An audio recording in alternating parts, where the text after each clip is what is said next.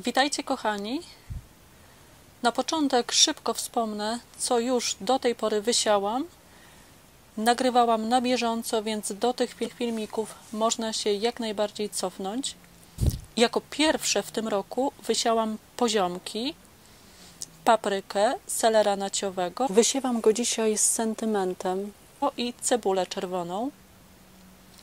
Następnie wysiałam rośliny kapustne na rozsadę, kalafiora, kalarepę, kapustę, kapustę pekińską, sałaty na rozsadę. Sałaty wysiewam głównie liściowe, ale też sałatę kruchą i sałatę rzymską. Do szklarni na przedplon wysiałam rzodkiewkę, koperek, szpinak, roszponkę i natkę pietruszki. Przygotowałam rozsadę bobu i poczyniłam pierwsze wysiewy do gruntu. Marchewki, pietruszki, cebuli z dymki, czosnku i kopru. A teraz, co jeszcze można wysiewać i co ja będę wysiewać? Oczywiście nie jest to lista zamknięta. Każdy, zarówno ja, jak i wy, wysiewamy to pod własne preferencje. I tę listę właśnie w taki sposób należy potraktować. Oczywiście można jeszcze wysiewać poziomki na rozsadę. Jeżeli zrobiliście to pod koniec stycznia czy na początku lutego, to na pewno te owoce jeszcze zbierzecie w tym roku. Natomiast jeżeli wysiejecie teraz, to pewnie tymi owocami też jeszcze się będziecie cieszyli, tylko wiadomo, że później i, no i zbiór w tym roku będzie troszeczkę mniejszy. W tej chwili jest jeszcze bardzo dobry termin na wysiew papryki, ale nie zwlekajmy z jej wysiewem. Maksymalnie uważam do połowy marca, przez to, że ma bardzo długi okres wegetacji i jak wysiejemy ją zbyt późno, to pod koniec sezonu może nam po prostu nie zdążyć dojrzeć. W tej chwili również jest to bardzo dobry czas na wysiew selera naciowego i selera korzeniowego, tak aby w maju można było przesadzić je do gruntu. Według mnie są to ostatnie dni na wysiew cebuli na rozsadę. Jeżeli zdecydujemy się wysiać ją jeszcze w tej chwili, to po skiełkowaniu śmiało przenosimy ją na zewnątrz, pod osłony, do szklarni, do tunelu, do inspektu. Cebulę również można wysiewać wprost do gruntu, chociaż ja preferuję rozsadę. Jeżeli ktoś nie wysiał jeszcze pietruszki korzeniowej do gruntu, to jak najszybciej polecam to zrobić. Teraz, gdy jest jeszcze zimniej, wilgotno, gleba jest bardzo dobra, przygotowana pod wysiew tego warzywa.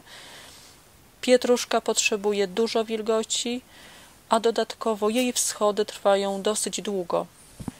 Można już wysiewać koper do gruntu i wysadzać czosnek wiosenny jary, jak również czosnek słoniowy. Te oba warzywa, koper i czosnek, polecam uprawiać na tej samej grządce z ogórkami, gdyż czosnek odstraszy szkodniki i będzie przeciwdziałał chorobom grzybowym. Koper natomiast zwabi owady zapylające i zacieni, tworząc ochronę przed ostrym słońcem dla ogórków. Ja już to zrobiłam w ostatnich dniach lutego, więc zapraszam do obejrzenia filmiku na moim kanale. Rozpoczynamy również wysiew wczesnej marchwi do gruntu. Bardzo polecam sadzić od razu obok niej cebulę z dymki dla wzajemnej ochrony tych warzyw przed szkodnikami, przed połyśnicą marchwianką i śmietką cebulanką.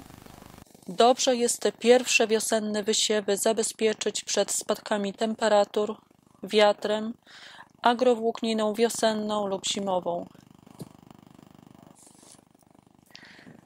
Jeżeli ktoś lubi pobawić się w mini ogródek w szklarni pod osłonami, taki doniczkowy, i chce cieszyć się wcześniejszymi pierwszymi zbiorami, to może wysiać w uprawie pęczkowej po kilka nasionek do komórki multipalety marchew tak zwaną rzodkiewkową, okrągłą, buraki liściowe i te tradycyjne, na przykład opolskie, podłużne, które ja akurat bardzo preferuję. Rzodkiewkę, że w ten sam sposób wysiać zieleninę, natkę pietruszki i koperek. Ja zieleninę i rzodkiewkę w taki sposób wysiałam już w lutym i po wykiełkowaniu od razu przeniosłam ją do szklarni. Do buraczków aż tak bardzo mi się nie śpieszy, więc zaczekam z wysiewem wprost do gruntu w kwietniu.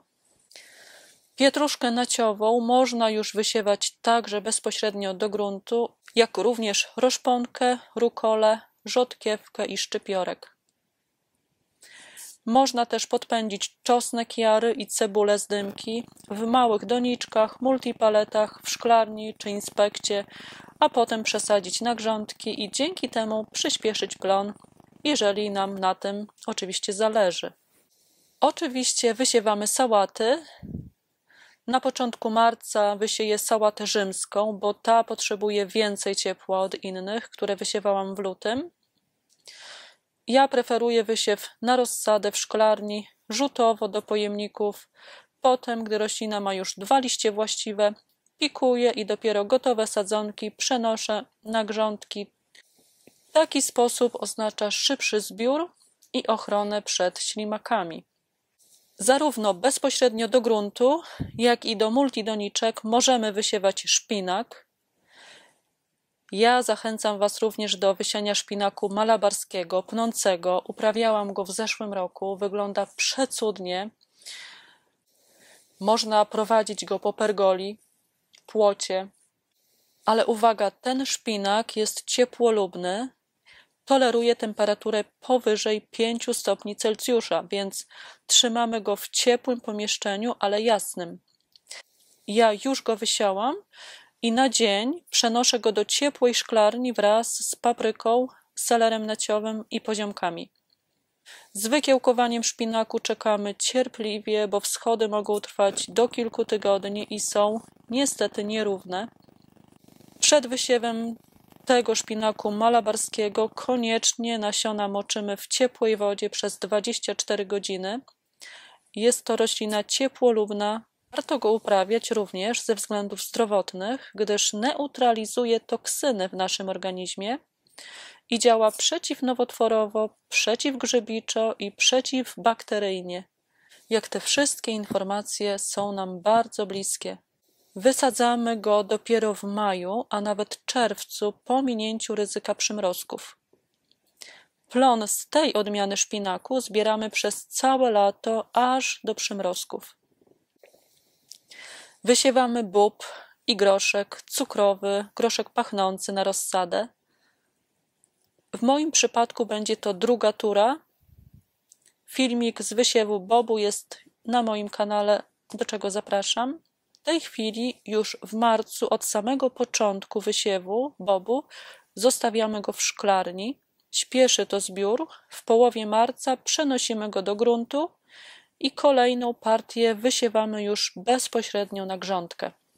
Kontynuujemy lub wysiewamy kolejne partie warzyw kapustnych na rozsadę, kapusty głowiastej, pekińskiej i pak choi. Uważam, że jak najwcześniej w marcu. Robimy rozsadę kalafiorów, brokułów i kalarepy. Od połowy marca można wysiewać również kapustę brukselską. Moje rozsady kapustnych po skiełkowaniu trafiły do szklarni i teraz kontynuują swój wzrost tutaj. Ja teraz wysieję kapustę czerwoną, odmianę wczesną. W połowie marca, około 15, wysieję pomidory na rozsadę z przeznaczeniem do gruntu, bez osłon, ale też do szklarni. Wysieję arbuzy na rozsadę, melony na rozsadę, bazylię na rozsadę, a także wybrane kwiaty jednoroczne na rozsadę, aksamitkę, nasturcję, nagietka, ogórecznik lekarski, a potem moją ulubioną cynię daliową. Relacje z tych wysiewów będę umieszczać na bieżąco, więc zapraszam do subskrypcji mojego kanału. I jeszcze bardzo ważna uwaga na koniec. Przed wysiewami, czy to do gruntu pod chmurkę, czy do szklarni, na przykład przedplonów, pamiętajmy o przeglądzie grządek pod kątem ślimaków. I mam tu na myśli nie tylko większych osobników, które łatwo dostrzec, ale głównie ich jaj. Tysięcy małych, przeźroczystych kuleczek, które grupami można znaleźć pod ściółką, przy obramowaniu grządek, przy deskach i w samej górnej, kilkucentymetrowej warstwie gleby. Mniej zostawionych jaj oznacza mniej pracy w sezonie i uzyskanie większego plonu, czego życzę i Wam, i sobie, i do kolejnego spotkania. Pa, pa!